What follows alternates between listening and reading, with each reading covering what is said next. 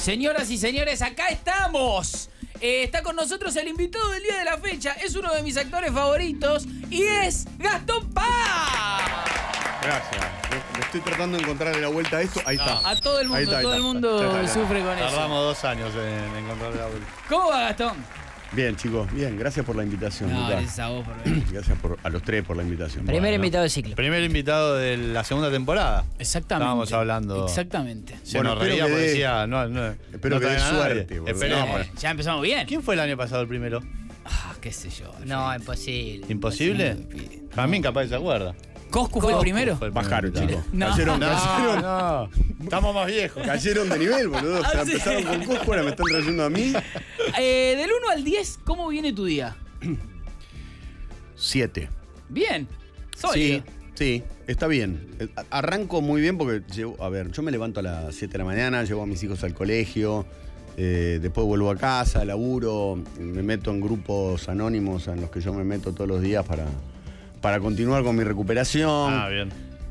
Y cuando yo tengo un día de ese tipo, al lado de, otros días que tuvimos, todo está bien. ¿Tomás mate? Sí, ahora hacemos mate. Pasale. Eh, así que siete. Perfecto. Bien. Pero porque, porque estoy un poco. Estuve, estoy entrenando. Ah, y, mira. y me duelen un toque cerca los. Ah. de los huevos, perdón, Ah, bien. así, los aductores. Los aductores. Pero, ¿sos de entrenar? No. Ah. Nunca en mi vida. Pero yo tengo 51 y hay un punto donde decís. Estoy ya en el. Sí, sí. Como hay, En la ya- bajada. claro, ya llegaste a la Sí. punta del, del tobogán, ya caes, estás, estás en la caída. Sí. Y me empecé a dar cuenta que si no. ¿Querés llegar bien? Quiero llegar bien a lo, a lo que tenga que llegar. Si son a los 52, a los 57 o a los 70. pero a costa de, de sufrir, porque si No, te duele. No, ah, no, pero venía de 36 años de no hacer nada. Bien. ¿Eso te iba a preguntar? ¿Fútbol digo, nunca? Sí, Sí. yo jugué, jugué. Yo jugaba al fútbol, eh, de hecho yo quería ser jugador de fútbol. Ah, jugué ¿sí? en Ferro hasta los 16 y quería ser jugador de fútbol. Eh, y después dejé. Y nunca no. más. No, sí, jugaba con mis amigos. Justo recién hablábamos de Diego. Yo tengo la anécdota eh, más triste. Eh, eh, Diego un día me llama, Maradona y me dice, vamos a jugar al fútbol. Le digo, no, Diego, yo estoy, estoy con un tirón en la gamba derecha. No, vamos a jugar al fútbol. Le digo, de verdad, no, no puedo. Ya había jugado. Con Diego sí. Ah, varias ok, veces. ok, porque para Y se decirle que enoja, no. Claro, claro. Se enoja. Me dice, Uh. no, pero vas, venís igual. Le digo, no, pero pará, no sé qué, venís igual. Y en un punto cuelgo y digo, le estoy diciendo que no a ir a jugar un partido con Diego. increíble, Eso te increíble. decía, Entonces lo llamo, le digo, bueno, voy al arco. Eh, como todos los arqueros, empieza a bardearme.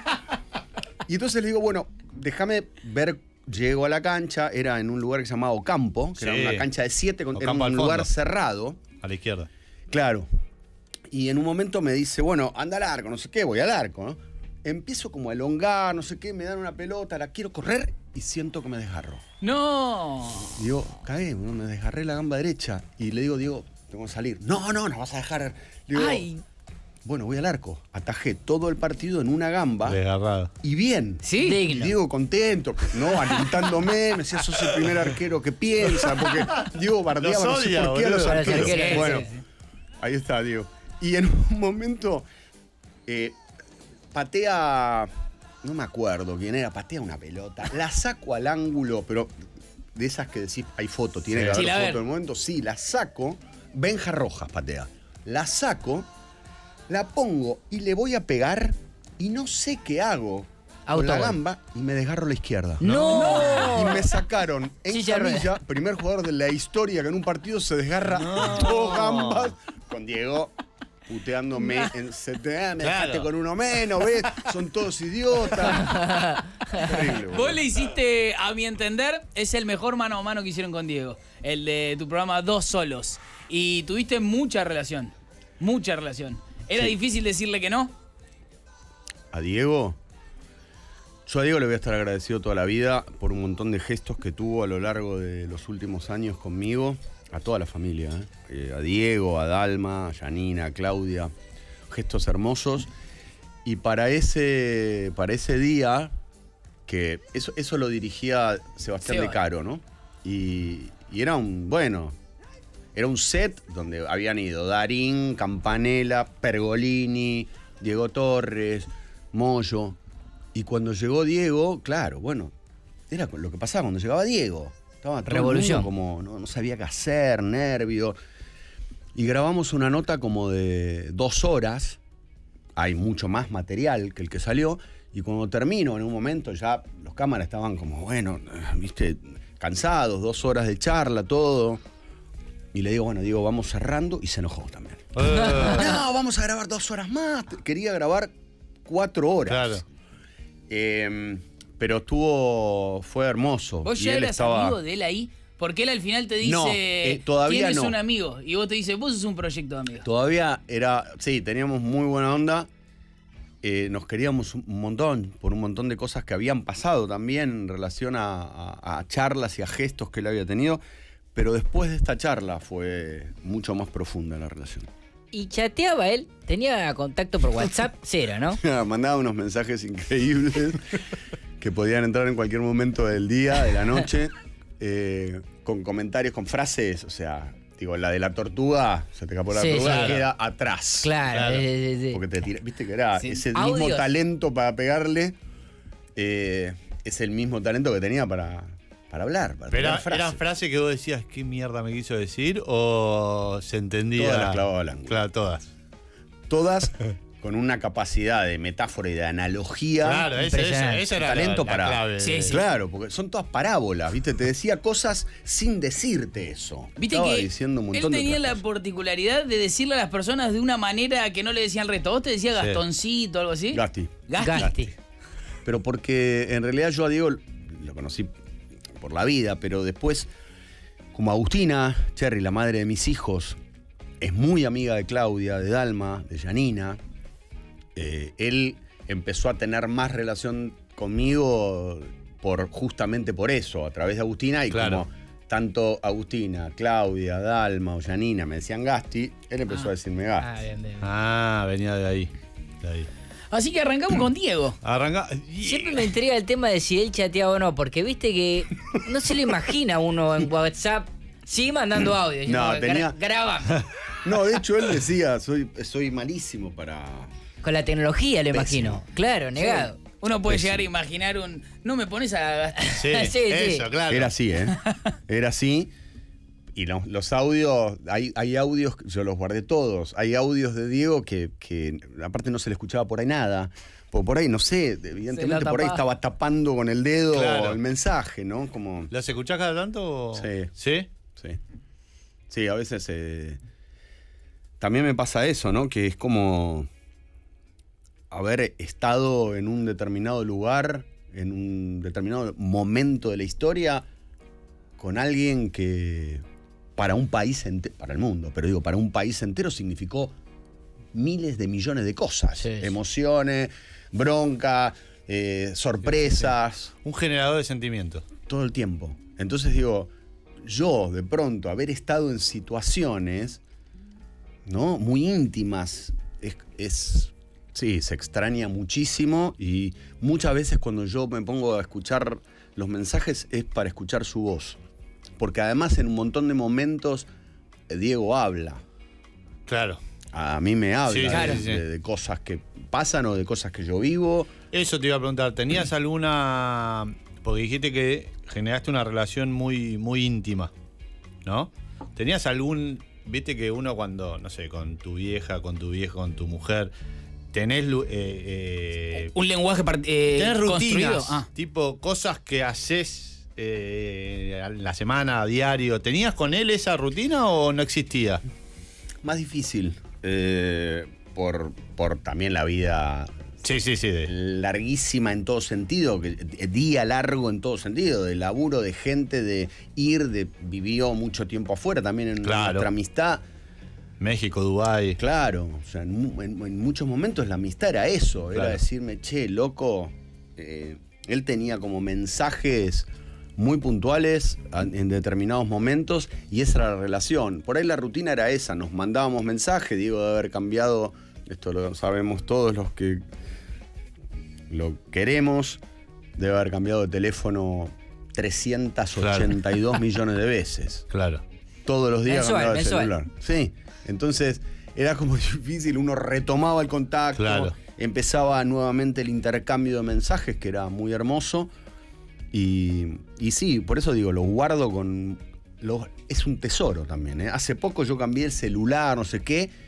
Y te y encargaste cuando de que viste, pasen. cuando tenés que pasar todo el coso, una de las presiones en mi cabeza era No perdona. pasan los mensajes, pasaron los mensajes, listo, ya está.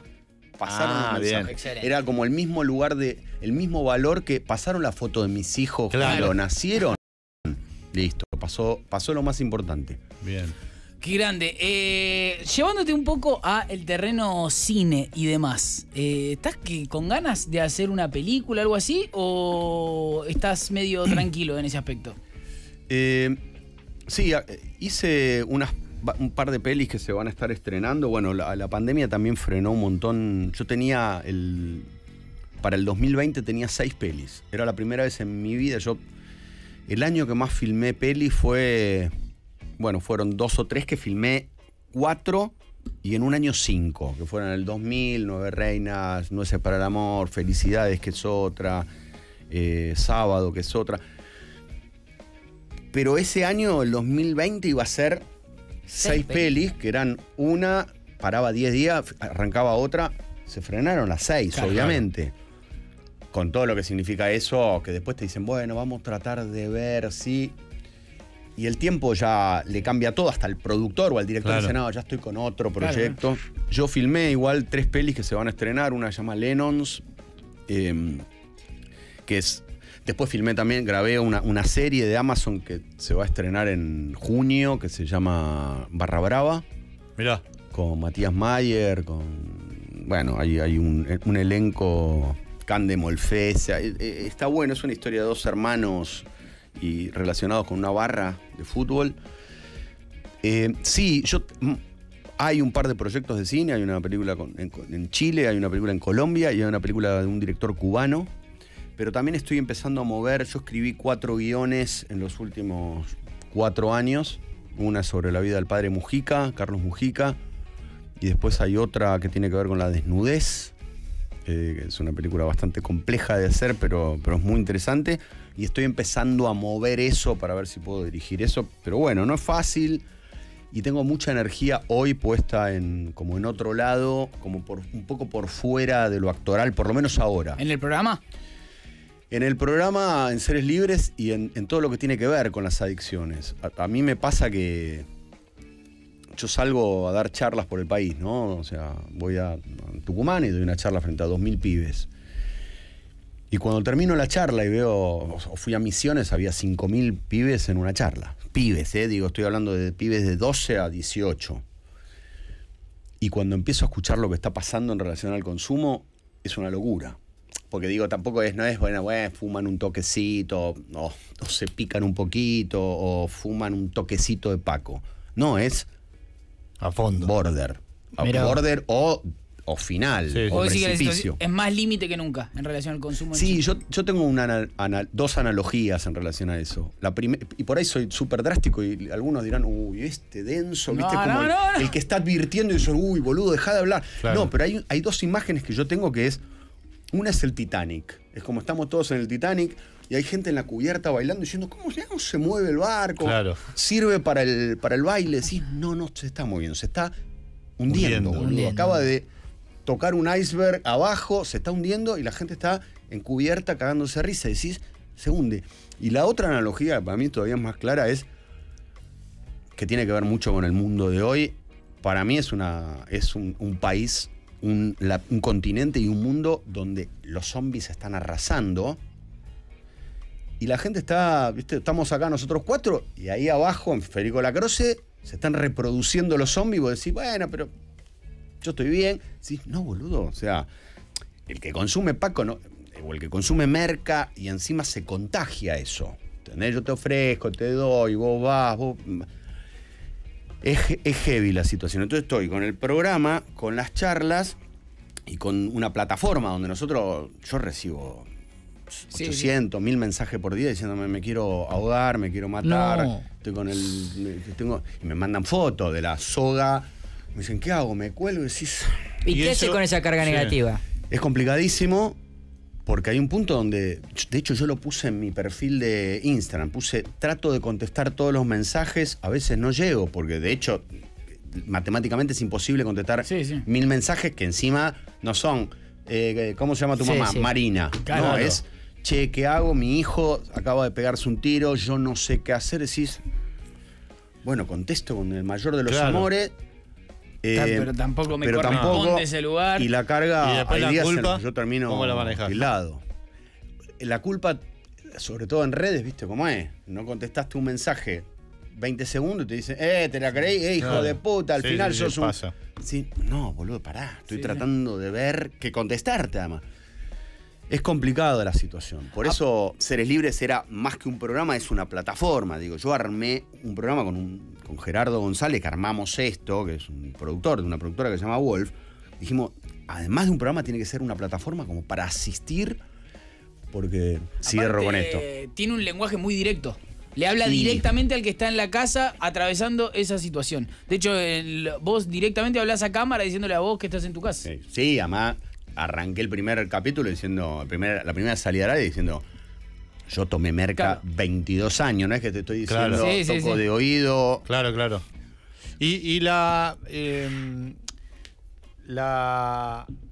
La cabeza de esto, que son la política, el narco. eh, ayer Aníbal Fernández fue el que dijo: eh, ganado. han ganado. Vos desde el otro lado y desde el lado de hablarle a los pibes, ¿y ¿cómo tomás ese, ese, ese- esa bajada de brazos de, de los que tienen que.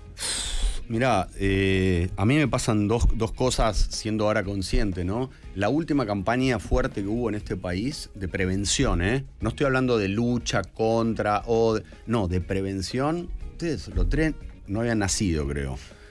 Es Fleco y Male, Sí, eh, no. el doctor Miroli. Yo soy de 80, ¿eh? Bueno. Tranqui. ¿Drogas para qué, Bueno, no? Decía- claro, sí, Sí. era como. Y eran dos doctor Miroli. dibujitos. Que la bardeaban, la campaña, la, la cargaban. era- pero decís, bueno, igual es una campaña que Claro, hizo ruido. claro. Sí. Sí, Hace- todos nos acordamos. Claro. Decime una del 90. y- Eso fue en el 97. El 97 hasta acá, no me acuerdo ninguna más. Sol sin drogas, ¿te acordás Sol de sin esa? Sol droga. sin droga. eh, Pero ya dijo droga sin sol. Claro. sí, claro. Pero lo que di- ahí está, Fleco y Male. Esa Fleco es la, Male, última campaña fuerte que hubo. Qué locura O que sea, haya pasado tanto. de- Claro, Sí. decís, en estos últimos 26 años pasó Carlos Saúl, De la Rúa, eh, Bueno, los cinco. los cinco del Sí. 2001. Pasaron todo. Cristina, Mauricio, Alberto. Nadie hizo una campaña. Nadie puso los huevos, los ovarios. Digo, no. Creo que es el tema tabú dentro de la política, ¿no? Hay algo como de. Todos eh, decimos discursivamente es el gran problema, es el gran problema, Pero- pero, pareciese ser como que internamente hay una decisión de. Batalla perdida. Vamos a convivir con esto. Es que me parece que hay, hay- un gran tema, para los adictos lo tenemos más claro, porque yo consumía y, y hoy no, gracias a Dios, hace un montón de años que no, 15 que entré en recuperación. Pero eh, la adicción no es solamente a la droga. Hay adicción a- Claro. al rating, sí. hay adicción a la guita, hay adicción al poder. Y estos son adictos al poder. Exacto. Claro. ¿Y cómo ganas más poder? Consumiendo más poder. Eh, y, y sin soltar y sin hacer cosas que vayan en contra de eso. Entonces digo, muchos de ellos no negocian, y no quiero decir con esto que sea, que estén dentro del, del Sí. negocio narco, pero digo, Sí, perder el poder ese. claro. Entonces, es complejo el tema, es muy complejo. ¿Percibís en esta era adicción a las redes también? Uf. Sí. Viste que ya hay lugares, yo no lo sabía. Ah, no Ah, ¿sí? sabía. Sí, ya ¿De hay lugares en un par del mundo, en un par de lugares del mundo, hay lugares para, para gente que no puede parar. Y sí. Mira. Y yo, que dejé la merca, dejé el alcohol, dejé el porno, dejé. eh, El porno la- duro. dejé, dejé el cigarrillo, Sí. boludo, dejé las harinas, dejé el azúcar. Bueno, pero es una personalidad adictiva. Sí, pero esto ¿Qué? me Celular. cuesta. sí. Terrible. Digo, hay ¿eh? momentos donde me doy cuenta que estoy cuatro o cinco horas, que estoy Y pero está respondiendo en Instagram. Claro. de- respondiendo. Dando una mano. Pero también hay momentos donde no estoy respondiendo, donde Está digo, navego Sí. Y a veces navego por la imbecilidad, porque no es que todo el tiempo estás viendo, ¿entendés? Eh, ¿Qué de dijo Palermo, Tesla de de una cosa? Nah, ¿Qué nah, dijo claro. Bueno, pero- Gandhi de otra? Eh, hay, una, hay una relación, obviamente, eh, con distancia, pero de alejarte un poco del, del- del mundo. De tu mundo real, Sí. ¿eh? No del mundo virtual. Sí. Sí. Es como la distracción. la distracción. Claro, pero digo él que vos tomaste merca y te alejabas de, de- de ese mundo. Claro. Ahora también te alejas de tu mundo eh, con esto. También, le- las adicciones son eh, como. es anestesia. Claro. Digo, yo se lo preguntaba a, a- a todos los invitados que yo tengo en el programa, desde el famoso, del músico, el Sí. poeta, el político que ha venido alguno, hasta el pibe de la 31, Fuerte Apache, Puerto Madero, Sí. de todo lado, el macrista, el kirchnerista, sí, sí, todos. todos cuando yo le pregunto qué es la merca, qué es el alcohol, qué es el porro, qué es el, el- el paco, los que no pudieron controlarlo me dicen el infierno. Y le digo, ¿pero qué te hacía? Te seca el alma, te bloquea el alma, te anestesia el alma. Hay algo que, literal, ¿eh? vos dejás de ser Vos. lo que estaba haciendo vos para pasar a ser, cuando ya no lo podés controlar, un esclavo Se automatiza, ¿no? yo no podía parar, eh, yo lo digo todo el tiempo, no para, no, no para llegar de nuevo a ese lugar, pero digo, yo llegué a pasar cuatro o cinco días encerrado en una habitación con los baldes, pues no podía ir al baño. Y no era algo que me pasaba a mí. Yo hablaba con amigos míos, me decían, ah, yo, yo, Sí, yo hice siete días encerrado en la habitación. Claro. Y decís, ah, claro, pasás a ser a un autómata, un robot, además funcional al, al sistema ese que Claro. te necesita comprando más. Claro. Eso te iba a decir, también el propio sistema construye eh, sus adictos. O sea, no- tampoco es enteramente una responsabilidad individual. Eh, in- indudablemente a todos por algún lado nos agarra eso. Sí, hay una cosa que yo la, la vengo hablando y, y es, es- es delicadísima. Porque eh, todos los que. Yo voy a grupos anónimos, donde Sí. somos poner, no sé, 30 en una reunión. De los 30, 29 arrancamos con el alcohol y después fuimos a la merca, al paco, a la pasta base, al crack, a la heroína. Pero los. El 99% arrancan con el alcohol. Claro. Y el alcohol, vos encendés la tele a las 4 de la tarde, ves la publicidad de cualquier cerveza, que puede ser la, la más livianita de las bebidas alcohólicas, y la cerveza siempre es vendida, Sí, y sí. un pibe de 8 que tiene 8 está viendo esa publicidad, es vendida como gente de alrededor de una mesa, bien vestida, Contentos. Felices, todos los dientes recién blanqueados, recién sacadas las tres arrugas que tenían, y te ponen, yo lo digo, perdón, pero digo, te ponen el sabor del encuentro. Claro. O sea, el pibe de 10 dice, yo quiero eso. Claro. Yo quiero ser así, tener plata, ser... Bueno, así divino. fueron los cigarrillos Sí, en su momento. Los cigarrillos eran eso. Eran era- eso. Uno jamás se puede imaginar que en el fondo está la imagen de la que acabas de hablar de cinco días encerrado con un Claro. Claro. Al final del camino. Claro, no hay publicidad de que te muestren ese lado. Como, No, bueno, sí, no y quiere decir- chocando en la esquina. Claro. No quiere decir igual que Claro. cualquiera que Sí, sí, tome sí, alcohol se entiende, se va a llegar entiende. ahí. Sí, El sí, que escucha, eh, entiende. Entiende. Claro. Claro. Y, y te iba a preguntar algo parecido a eso que pasa mucho también en redes o en, Creo que o tengo en- la o misma en pregunta. juventud, que es, no sé, eh, el hype por, por las nuevas drogas, eh, como que está bueno, eh, es canchero, y que nunca fumaste, nunca tomaste esto, nunca... Y como que y la música, no sé. Es un temazo. ¿Por qué? Digo, porque yo, bueno, estoy haciendo un programa que se llama Seres Libres y lo que más respeto de la vida es la libertad. Claro. Digo, Cada uno, no, no te- no nos vamos a decir uno a otro qué es lo que tenés que hacer. Sí sé que adicto, la palabra adicto viene de adictus, y Sí. los adictus eran los esclavos en Roma. O sea, de un lado está la adicción, del otro lado está la libertad. Eh, el, también el, hoy el 80% de la gente que viene a los grupos, a los que yo voy, que son grupos anónimos que están en todo el mundo, no puedo decir el nombre exacto, pero son grupos anónimos, de gente que consume narcóticos, grupos anónimos de alcohólicos. El 80% son adictos hoy al porro. Claro. Y lo que digo es, yo no demonizo la planta, porque es una planta que por algo la puso Dios en la tierra o el, el ser en el que cada uno crea. El tema es que qué hace el ser humano con eso, ¿no? Y ante las nuevas sustancias, lo que ocurre es que encima son sustancias químicas preparadas en. Ni siquiera son preparadas en una granjita orgánica con amor. O sea, no es que hay. Bueno, vamos a preparar Sí, sí. Una, una salsita con dos o tres cosas. No. Son con Deliberadamente que- para- Claro. ¿Cuál es el. ¿Cuál es el objetivo final de los que fabrican una sustancia? que sea una sustancia que no te mate, Sí. porque yo te- necesito que sigas que comprando, consumas. que a la primera vez que la consumís, la quieras de nuevo, o Sí sea, que sí. seas un cliente ordenadito, prolijo, que todos los días me vengas a comprar y no te mate. Si te tengo como cliente 35 años comprando la misma sustancia, es un negocio redondo. Entonces, yo lo único que digo es al que va a probar por primera vez, Yo no creo que haya nadie que haya salido de la heroína, del paco, de la cocaína, de la pasta base, del crack, de la- del fentanilo que le diga a los pibes, chicos, pruébenlo, que es hermoso. boludo. Claro. El paco es un, un viajecito hermoso. No, no, to- todo lo que salen de ahí te dicen, porfa, no, boludo. Es como Claro. porque estuviste entre los zombies, tuviste el pedo de no convertirte.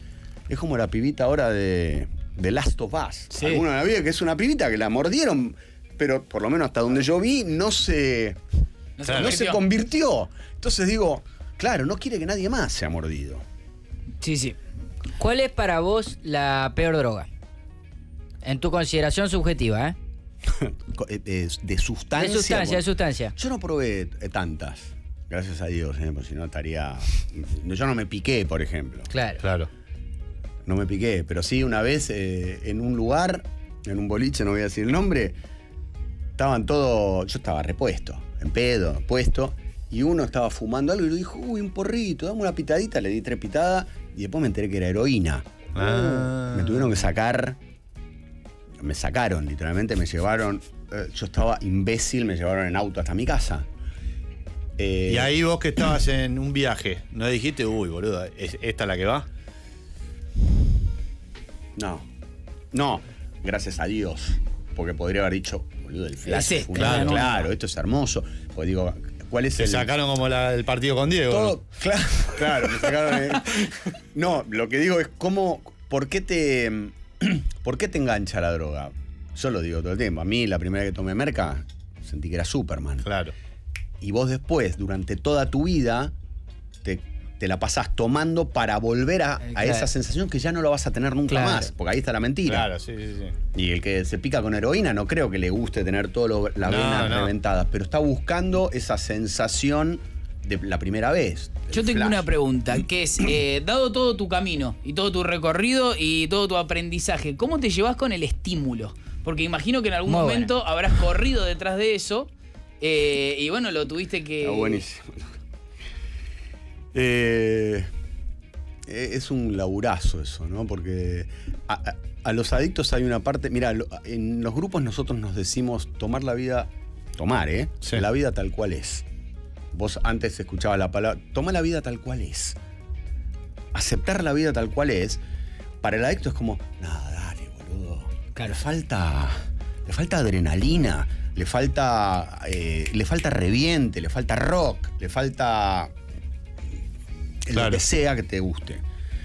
Entonces, durante un tiempo, yo lo hablé siempre con adictos en recuperación que, que ya habían avanzado muchos años y me decían, al principio es un bajón, boludo. Claro. Porque te- le falta color, es como, es como ver una película tridimensional sin los anteojos. está todo borroso, no, no, no tiene onda. Claro, te volvés a poner los anteojos, que en realidad con qué tiene que ver, y ese para mí es- hoy es el estímulo.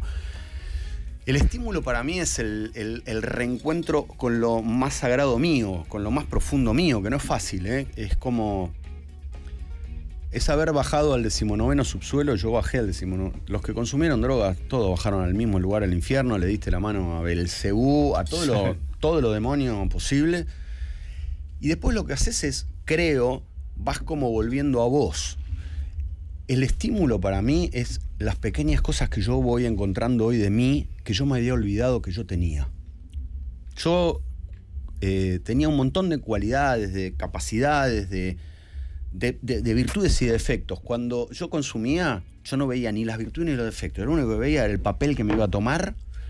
Hoy mi estímulo es ver crecer a mis hijos, poder abrazarlos, poder hablar abiertamente con ellos, porque si de un lado está la, la adicción, que es lo que no Sí. se dice, del otro lado está la adicción. Yo con Claro. mis hijos puedo hablar. Y si de un lado está la esclavitud, del otro lado está la libertad. Yo con mis hijos hablo abiertamente de esto. El otro día fui a una reunión y estaba mi hija al lado y el tipo me decía, como me hacía señas como, está está escuchando Claro. tu hija, la palabra merca. Le digo, Claro, y sí, sabe. boludo, si me la metí por la nariz 20 años, ¿cómo no, ¿por qué no vas a ver? Gracias a Dios mis hijos nacieron después de mi consumo, pero hablar descaradamente, Y, abierto. y- y una pregunta que tengo en general cuando veo la tele, cuando veo testimonios como, como los tuyos, es si la pasaste tan bien durante X cantidad de tiempo y ahora podés abrazar a tus hijos y pasarla también, Por- ¿por qué no, podés- no podemos hacer las dos cosas? Porque el, el adicto se- eh, el adicto se termina dando cuenta de que no la estabas pasando bien. O la pasé bien un ratito al, al principio de todo, ¿eh? Después, para mí fue una caída libre. Y cuando yo digo esto de que bajás al decimonoveno suelo, eh, eh, subsuelo del infierno, es real. Todos los adictos, sobre todo los que consumieron mucho, empezás a ver cosas. Claro. Cuando digo cosas, no son, bueno, mirá la florcita que vi, ay, qué lindo el atardecer. No, estás en oscuridad en tu casa y, y ves cosas que se mueven y decís, Claro. uy, boludo. A un lugar propio sí. que la humanidad no tendría que llegar incluso. Claro, que decís, no, boludo, ¿para qué bajé hasta acá? Claro. Si además no me la banco solo. Claro. Por eso todo lo que estamos en ese lugar terminamos diciendo, Dios acá. Yo le pedí ayuda a Sí, Dios, sí, yo no sí. creía en nada, pero después de cinco noches sin dormir, de fumarme 20 atados, de tomarme cinco botellas de whisky, de tomarme todo lo que me tomé, que al principio lo tomaba por la nariz, después me lo comía, Claro. porque no me entraba en la nariz, me sangraba la nariz, decís, sacame de acá. No sé ni cómo llegué, pero sacame. No, no hay diversión. Por momentos en la cabeza, yo esto lo digo casi en chiste, pero es real. Hace poco, mira, yo tengo una memoria muy buena. Pero a veces me olvido de pequeñas cosas, como mi, mi número de teléfono, lo tengo que chequear. Claro. Hace 15 años que yo no lo llamo, pero no me puedo olvidar el número del dealer. Sí, eso lo escuché. Sí. Bueno, escuché. lo cuento todo el tiempo porque Sí. digo, ahí está como seteada la enfermedad. Claro. Que además la enfermedad me dice, llámalo, para- pero no para tomar. si- Para ver cómo pa- anda. Para ver cómo anda, boludo. Ah, ¿en serio? ¿Te Si no se aparece eso? Claro, pues yo entonces tengo, tengo un doble discurso en mi cabeza. Sí, si sí. yo le doy bola a ese, estoy tomando acá. Claro. Les estoy ca- careteando a ustedes, me voy un... Ahora vengo, chicos, me voy a tomar al baño. Es, es muy complejo cómo, a qué darle bola, a qué parte tuya le das bola. Es también entender que existen varios vos adentro de vos mismo. Claro. ¿Detectás rápidamente al drogadicto que se hace Sí, el le iba a preguntar el tema? Te iba a El preguntar. otro día, sí, el otro día vino uno así, Gastón, estoy como, nada, estoy, estoy re bien, estoy, me- me- no me podía hablar. Tenía empastada la boca Claro. y aparte la mandíbula, le había declarado independencia hace Claro. dos años. Iba pa, pa, pa, y yo dije, en, en un punto sentía más la angustia de él, porque Claro. sé lo que te pasa cuando lo único que Querés querés es hablar y, y caretear y que el otro no se dé cuenta y sabés que el otro se está dando cuenta. A mí no había nada que me pareciera más horrible que Quedar tener como que ese personaje. claro, ¿no? tener que piloteársela a alguien de mi familia, alguien Oh, que además me quiere y que me está Y mirando los ojos. cuenta. Se daba cuenta y yo bajaba lo- la mirada o, o decía, uy, tengo- se me nota en la nariz, Claro. ¿viste? como cosas Claro. patéticas, sí, lo sacás al. Yo a, a veces entro a un bar y hago, sac- saco una foto del bar entero, digo, "Ah, allí está el que toma, Mira. ahí está el que vende. O sea, entras y ya. Qué duro, por favor. Es terrible. Tremendo, tremendo. Bueno, Eh, saquémoslo de sí, este sí, tema. sí, Vamos a, a película. Igual me encanta, me encanta. Aparte me encanta su No, mí es un tema que me podría quedar cuatro horas, Es que pero. es, es un tema terrible, en- encantador. Exacto. pa- eh, eh, con mucha pasión, pero bueno. Es no, muy, también es muy sí, valioso, es muy valioso hablarlo desde la honestidad tan Claro, grande. claro. Y desde el compromiso con la charla y con explicarlo. No hablar ni de, de los lugares comunes que ya conocemos todos para un lado y para el otro, sino intentar entender qué es lo que pasa ahí adentro. Eso yo siento que es muy valioso. Gracias, Lucas, querido. Gracias, chicos. Eh, en relación a las películas, yo tengo. nombraste Felicidades, una de mis películas favoritas, te diría. ¿Felicidades? Sí, Ah, la veo qué bueno. todas las navidades, ¿En veo serio? Felicidades. Ah. Lucas está muy loco. No, porque es, es. Yo soy fan de Felicidades. Sí. Ya Hice, no sé, vuelvo a decir, hice 70 pelis, 72 pelis. De las 72, si tuviera que elegir una que me hace reír, que me divierte, que, que me parece un humor que tiene que ver con lo- el humor que me hace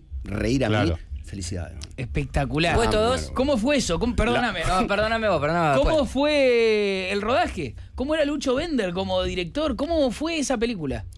Para mí, Lucho, un genio. Un dolor inmenso que haya filmado una peli, lo mismo que Fabi, Bielinski. Pero Lucho eh, tenía muy claro lo que quería, era muy inteligente, es muy clarito, o sea, no la complicaba. Tenía un grupo de actores que además cada uno, ¿no? Tanto Belloso, Carlito, como Pablito Cedrón, como... eh, a mí me tocó laburar con Cacho Castaña, con el Tigre, que Esa, era escena, un- esa escena de entrando al al departamento. departamento es una genialidad. Increíble. Yo había escenas que no podía. Yo no. Estábamos. eh, eh, Cacho Castaña estaba revisando la ropa y yo no lo podía mirar. Entonces tuve que mirar. Y en otra escena que Alfredo Casero agarra un cuadro y Sí. empieza a hablar. Estos este- son los estos norteamericanos. sí. Yo no lo podía mirar. A- Ahí está felicidad. No los podía mirar. Tenía que mirar como a un costado, en mi plano, porque si los miraba, me tentaba. Claro. Y con Cacho, bueno, ahí está Cacho. Con Cacho tuvimos un par de noches ahí largas. Cacho de siempre decía. ¿vos te crees que yo eh, compuse Café La Humedad tomando agua? ¿Sabes? Lo que entró por este cuerpito y esta nariz decía un genio. Un genio. Eh, perdón, Ger. Puestos, puestos en tu consideración, ¿eh?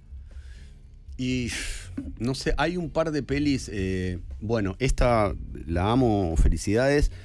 Ese año fue un año donde eh, las tres pelis que se estrenaron, que fueron Felicidades, Nueve Reinas y Nueces para el Amor, las tres por distintas razones las quiero mucho. Nueve Reinas porque nos divertimos muchísimo haciéndola, porque también Bielinski tenía clarísimo lo que quería, era un director para mí increíble, increíble, y porque con Ricardo nos conocíamos desde antes y logramos, y para mí ese era como el desafío, había dos desafíos que nos lo planteó Fabián Bielinski, a Ricardo y a mí. El primero es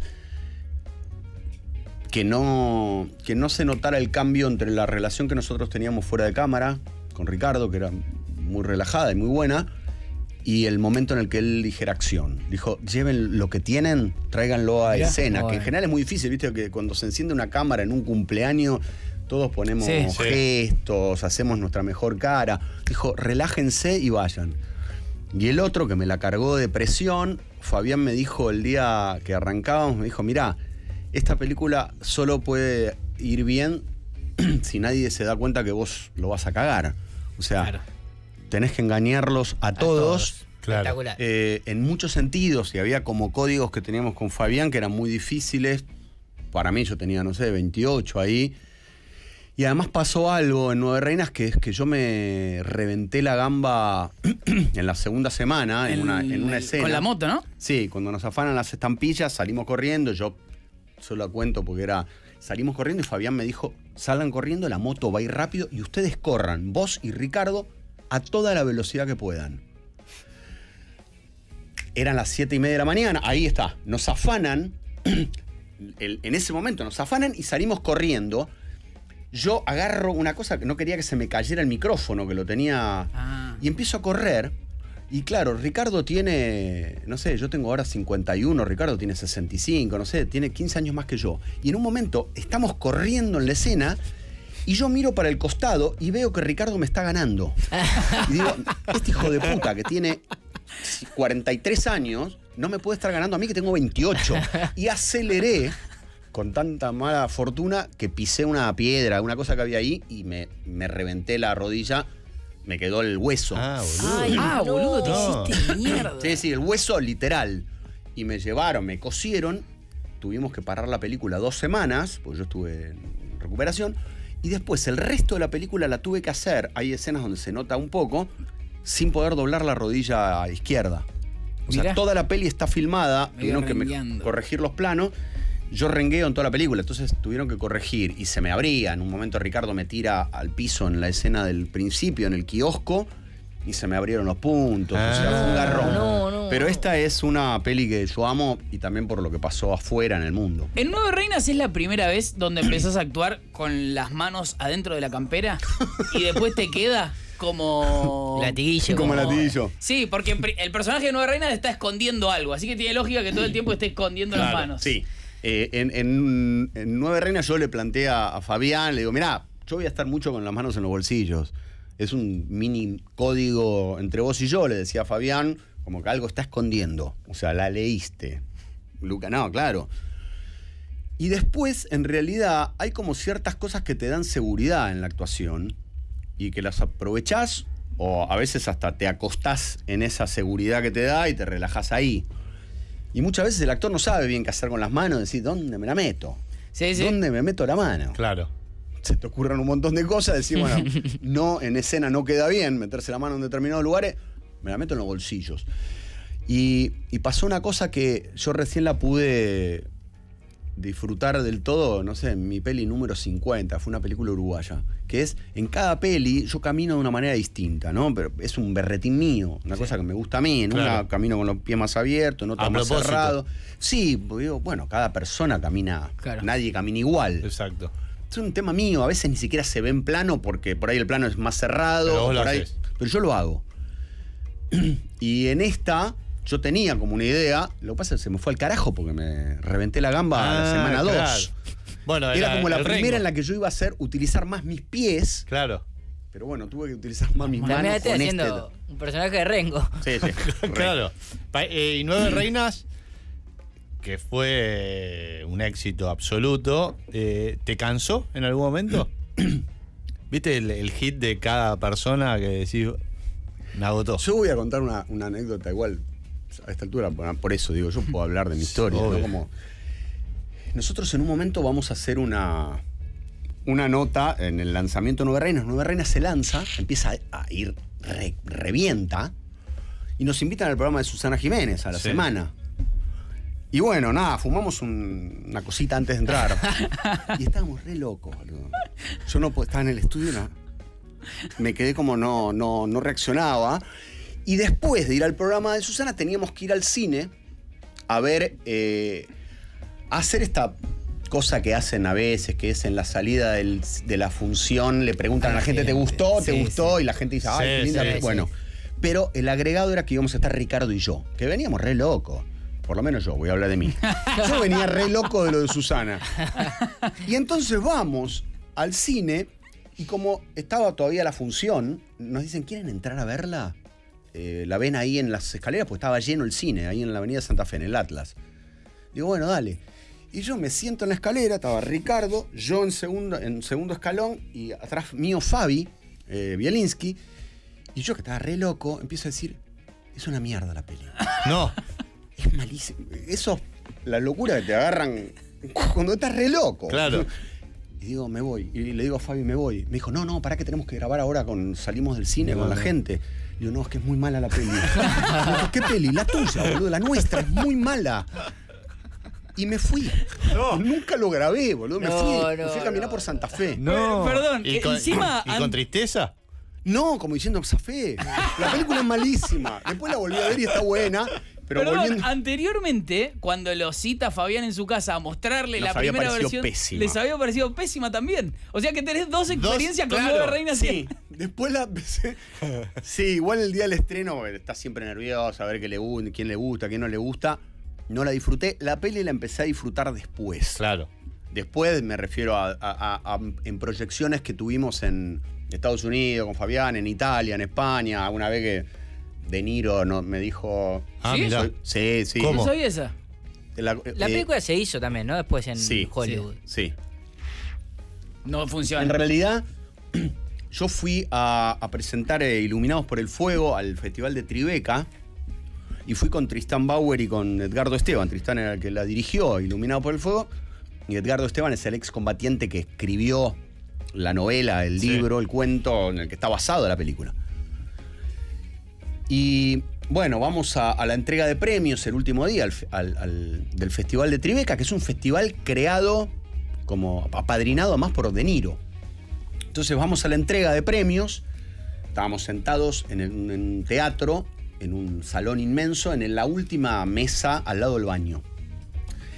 Todo el tiempo diciendo, vámonos, boludo, abrían la puerta para traer la comida, nos pegaban en la silla, dijimos, boludo, nos dieron el último lugar, vámonos de acá, no vamos a ganar nada. Entonces van entregando los premios, no sé qué, y dicen, bueno, y el último premio, que esa mejor película lo va a entregar el señor Robert De Niro. Entonces se para De Niro ahí, yo estaba a 812 metros. De Niro, que no es muy alto, lo veía como un... Sí, claro, un, sí. Top Toy, era una cosita, boludo, como, y digo, bueno, no sé qué, y dice, De Niro dice, bueno, and the winner is Blessed by Fire. Digo, ganamos nosotros, boludo, yo era el único que hablaba inglés en la mesa, digo, ganamos nosotros. No, sí, sí, subimos. Primero sube Tristán, que lo empieza a abrazar y a pegarle a De Niro muy fuerte, como Tristán, que es muy grandote, De Niro no es tan grande, le pegaba la espalda, yo veía como la cara de De Niro huyendo de... Bueno, pará, Blanco, ¿qué pasa? No, no, muy- como demasiado. Ah, Hablo ni en yo. Toro Salvaje le habían pegado No, tanto. Feo, la pasó feo, pues le veía la jeta como queriendo huir. del abrazo de, de Tristán, recibo el premio, empiezo a hablar, empiezo a agradecer, me voy atrás cuando termino de agradecer y va a hablar Tristán Bauer. Y mientras hablaba Tristán, yo estaba parado con De Niro al lado y con Edgardo Esteban al otro- del otro lado. Y De Niro me dice, muy, muy buena película, eh, pero yo soy fan de Nueve Reinas que vi dos veces. No. Terrible, ¿eh? Y yo estaba, literalmente, me temblaba la gamba, pues yo digo, estoy al lado de un tipo que yo quiero hablarle de Claro. Taxi Driver, del Toro Salvaje, Claro. de, de- de- de todas las pelis, de Buenos Muchachos, de todas. me Y él está te hablaba de las tuyas. de la peli esta, digo, y ahí eh, en un segundo se lo compartí con Fabián Bielinski, que estaba, estaba en algún lugar, eh, como compartiendo Sí. ese momento hermoso, porque fue, fue increíble. La vi dos veces. Increíble anécdota. Sí. Terrible. Y Terrible. de hecho, la peli la compró los. Ahí está. Uf, buena foto, buena pic. La peli la compró. Sí, sí, yo parezco como. Él está sonriendo y yo como serio, como, como estoy pesado la este foto. viejo, no, sí. claro. Eh, la peli la compró Soderbergh. eh, fue el productor de la versión. De la versión yankee, que se llama Criminal, que le hizo Diego Luna y, y John C. Reilly. Cuando yo, yo fui a filmar una película sobre el Che Guevara con Benicio del Toro y Matt Damon. Y yo llego a España a filmar la escena y llegué y me empiezan como a aplaudir. Y, yo decía. Llegó el verdadero. de- eh, Soderbergh y, y Gregory Jacobs, que era el, Me el asistente que era, fue el que dirigió la película, el remake de Nueva Reina. Me, me recibían como. Y yo decía, boludo, yo tendría que hablar con Soderbergh. pero pasaron. eh, Nueva Reina generó esas cosas, que está buenísima. ¿Con Feliz. qué, mm, así como contás lo de De Niro, que hiciste algo con Matt Damon, ¿con qué, con qué tipo, sacá la cuenta, la de De Niro, dijiste, mirá dónde estoy, boludo, mirá dónde me trajeron, con quién estoy? Eh, con, de- con Matt Damon, eh, que yo no tuve escena con él, pero compartíamos, Claro. estábamos en la pileta con él y con Luciana, su mujer, que Sí, es argentina. salteña. Estaba ahí, yo decía, estoy acá con Matt Damon, con Benicio del Toro, con Perru Gorrier, un actor cubano. Eh, eso me pasó con tanto con él como con Benicio. Sí. Después Benicio laburó en. hizo una participación en Todos contra Juan. Claro, Ah. Yo tengo una pregunta sobre participaciones en Todos contra Juanes. Bueno. ¿Cómo se filmó eso que ya sabés que te estoy... No, No, de Benicio Steve no. Carell. Steve Carrell. ¿Sabía dónde estaba? ¿Cómo se filmó esa Para escena mí, con Steve y Carrell? ahí va a cerrar con eso, que es, eh, nosotros íbamos a hacer la última, la el último capítulo de Todos contra Juan era que Juan Perugia, que era el personaje Sí. yo hacía, llegaba a Hollywood, que era su sueño de toda la vida, y le quería ofrecer el personaje del villano de una, de una serie que él quería hacer, que era La vida sigue siendo un juego, a Steve Carrell. En realidad nosotros habíamos pasado por varios actores mientras armábamos la segunda temporada con, con Gaby Nessi, que era, bueno, vamos por Ralph Macchio, que es el de Karate Kid. Sí. Vamos por Michael Claro. Fox. ¿Por quién vamos? Y en un momento digo, mirá, boludo, está Steve Carrell para mí es... O Jim Carrey o Steve Carrell, Sí. alguno de esos dos para mí son los mejores comediantes de hoy. Yo muero con los dos, me encantan. Digo, vamos con alguno de los dos. Y aparece la posibilidad de ir a hacerle una nota. Este tipo de notas de un actor presentando Claro. su película. Claro. Y vos vas a sacarle una escena. Claro, era. Yo iba como entrevistador, que te dan cinco Cinco minutos para hacerle claro. tres Sí. preguntas. Sí, le, El le- junket. Le dan el de probar dulce de leche, alguna Sí, boludez. alguna boludez.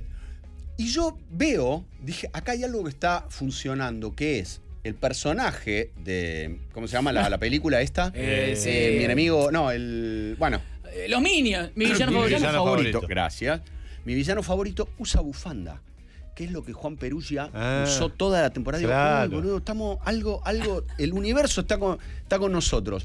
Y me siento con él y le hago cinco preguntas de rigor sobre la película. que no está, Sobre mi están villano- grabadas en algún lado. Sí, están grabadas. Sobre mi villano favorito. ¿Vos ya eras el hasta- personaje ahí? Sí, actuando. San Y él me miraba como diciendo, este pibe es raro, boludo, porque estaba como encorvado, con la bufandita, boludo. Todos los que le hacían entrevistas a él estaban de camisa y corbata, yo estaba muy pedorro con una Ay, riñonera, hasta que en un momento le digo, eh, bueno, ¿le puedo, ¿te puedo hacer una pregunta más? Y, dijo, y él dice como, bueno, acá vamos. A Ah, ver, él se da cuenta y le doy esa hoja, que era una hoja pedorra, donde yo le ofrecía que él hiciera el villano y yo era el protagonista de la, de la serie que quería hacer con él. Y el hijo de puta, genio, la casa al vuelo.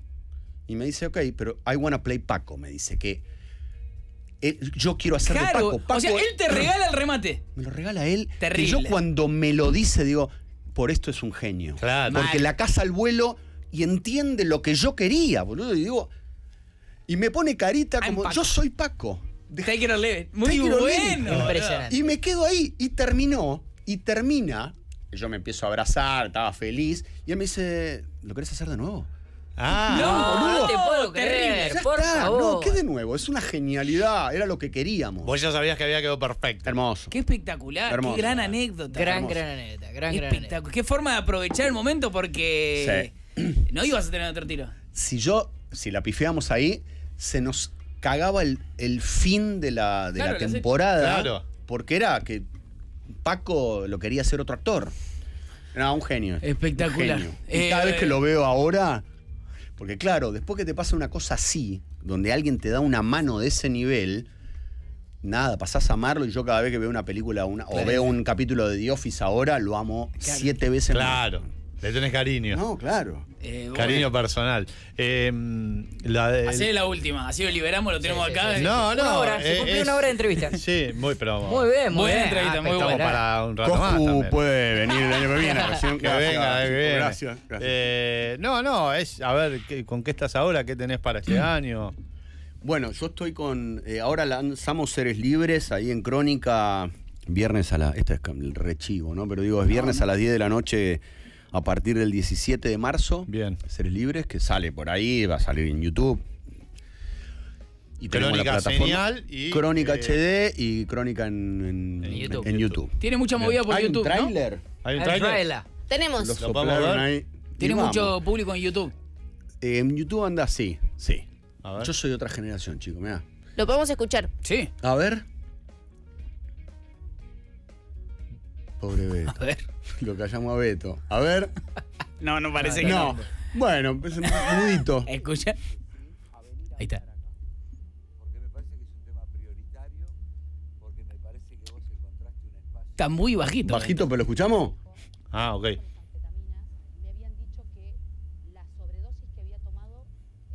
era comparativa con como 30 líneas de cocaína. Ahí, sí, Ahí está. ahí está. Pero está muy bajito, está sí, muy está bajito. muy bajo. La gente dice que no se escucha.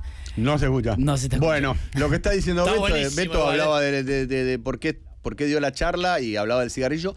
Y Nazarena habla de las pastillas, de las anfetas y de todo de lo que, lo que tomó en un momento también relacionado con la imagen, ¿no? Como, como muchas chicas y chicos también. Porque me parece que- Este año hay una charla con un pibe que ¿Por qué decís que tomaba 50 laxantes por día Uh, para bajar un modelo. no. Y terminó pesando, sí, sí, de- desesperado. Claro, 20. Bueno, es eso. A ¿Está? ver. ¿Con más sonido? Va. ¿Por qué decís que sí a venir a hablar acá? Porque me parece que es un tema prioritario, porque me parece que vos encontraste un espacio que no había. Cuando yo la dejo, dejo las anfetaminas, me habían dicho que la sobredosis que había tomado eh, era comparativa con como 30 líneas de cocaína. Y dije, a ver qué hace esto. Eh, tomé y me quedé esperando. Hizo. Ah, saca la angustia. Tampoco es que saca la angustia. La adormece, la, la- la ubica en algún Ah, lugar y sí, claro. un día vuelve. No, no, un día vuelve toda, se termina ¿no? el papelito. Claro. Por eso no querés terminar el papelito. La cocaína es un el asesino lento. Te vas de a poco, una raya, dos rayas. Y en el momento en el cual yo sentía que, que por ahí me empezaba a poner más dura o se me, se me empezaba a desdibujar el- la naturalidad, desaparecía. Y me iba a mi casa a consumir sola. La cocaína te vacía el alma. El 80% de- de- del resultado final de, de la experiencia es negativo. Era como una necesidad de hacer algo que no me llevaba a ningún lado. Sí. Siempre se puede. Que levanten el teléfono, que llamen, que pidan ayuda. Yo sé que se siente mucha vergüenza. Es como mostrarte completamente desnudo, pero es necesario. A mí me pasa algo que generalmente con personas recuperadas, uno los siente totalmente empoderados una vez recuperados. Personajes como, por ejemplo, me pasa con Juanse. Juanse, Sí. vos lo veías en Masterchef Sí. y era una persona que estaba disfrutando y que Feliz. ya, ya está, ya le chupa todo un huevo, lo que puede llegar a atravesar o no atravesar. Él está por lo menos en ese equilibrio. Y, y a vos se te nota de la misma manera. Sí, con, con, con el. con la salvedad o sabiendo que. Sí, siempre se está. Digo, yo estoy a un paso Por de, supuesto. de seguir en este camino y también a un paso de levantar, como hablaba antes, de decirle, Claro. che, nos juntamos. ¿Cómo arrancó el comer?". año? ¿Cómo arrancó el año? Claro. Comemos gnocchi, comemos un raviol. Sí. El Claro. raviol de pasta también es el otro raviol. Entonces digo, la conciencia esa, no, Es- no digo que te, te ponga en un determinado lugar, pero contamos los adictos que estamos en recuperación con ese plus que decís, estuviste en el infierno, lograste salir y la puerta está ahí, sabés que hay un lugar donde es mejor no. Y el día a día y pasar, por eso yo también estoy pasando el mensaje. A mí me llegó un día el mensaje de que otra vida era posible. Es un poco lo que yo estoy tratando de hacer. Claro. Con cada pibe que sacamos o que ayudamos, no sacamos porque yo no lo saco, sa- sale él, es enorme. Gracias, Gastón. Gastón. Gracias, Gastón. La pasé espectacular. Sí. Gracias, Muy bueno. Espectacular. Gracias. Muchas A los tres. Muchas gracias. Nos vemos Suerte pronto. que venga, ¿no? Vamos a hacer pausa, Has. Pausa que debemos 100 mil y vamos a escuchar qué te vas a animar eh, haciendo volver. Ahora venimos, vamos a poner la mano.